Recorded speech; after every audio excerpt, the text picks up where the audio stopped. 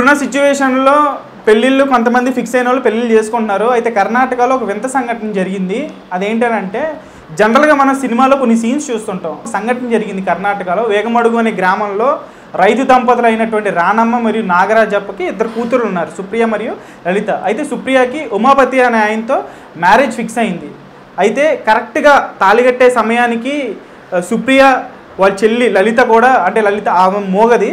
So తన్ని ఫ్యూచర్లో ఎవరు పెళ్ళి చేసుకుంటారు తన బ్రతుకు ఏమవుతుంది తన లైఫ్ ఏ విధంగా తన్ని ఎవరు పెళ్ళి చేసుకుంటారు అనే ఆలోచనతో పెద్ద మనసుతో తన భర్తతో ఏం చెప్పిందంటే మా ఇద్దరిని నువ్వే పెళ్ళి చేసుకో తను ఎవరు పెళ్ళి చేసుకుంటారు ఫ్యూచర్ తన జీవితం నాశనం అయిపోతుందేమో అని చెప్పి పెద్ద మనసుతో ఉదార హృదయంతో నిజంగా మా ఇద్దరిని నువ్వే పెళ్ళి చేసుకోవాలి అని అక్కడికక్కడ గొడవ చేయడంతో పెద్దల్ని అందరిని ఒప్పించి వాళ్ళందరిని అంగీకరించి తను వాళ్ళిద్దరిని పెళ్ళి చేసుకోవడం జరిగిందంట. ఈ విషయంలో మాత్రం నిజంగా అక్కకి హ్యాట్స్ ఆఫ్ అని చెప్పేసి అన్నారు సుప్రియకి.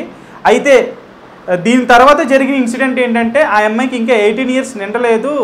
సో మైనర్ కావడంతో ఎవరైతే పెళ్ళికి ఒప్పుకున్నారో పెళ్ళి సహా ఏడుగురికి ఏడుగురి మీద పోలీసులు కేసు పెట్టడం జరిగింది.